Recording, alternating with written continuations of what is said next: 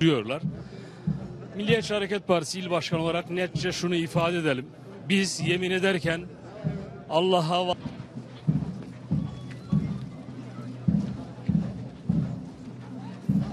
kişiydi. Bir taraftan da gözümün ucuyla devam ediyoruz.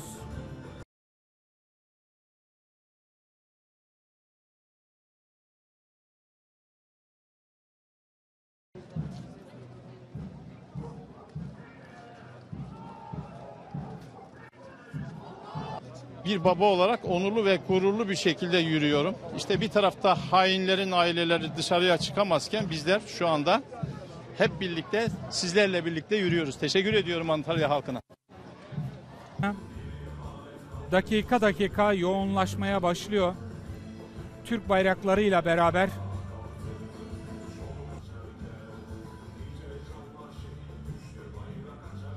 Çok affedersiniz sayın seyirciler.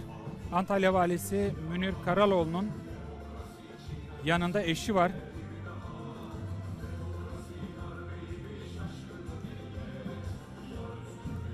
Sevim Karaloğlu. Şehit annesi Meltem Kılınç'a o kadar çok benziyor ki. Bir an o mu diye düşündüm. Evet, Büyükşehir Belediye Başkanı Muhittin Böcek de şu anda imzalıyor ana defterini.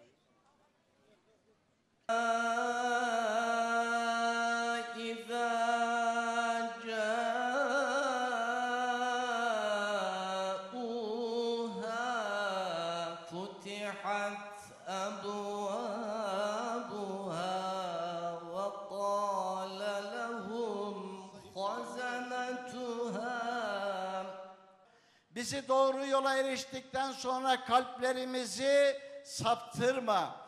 Bize katından rahmetini ver ya Rabbi.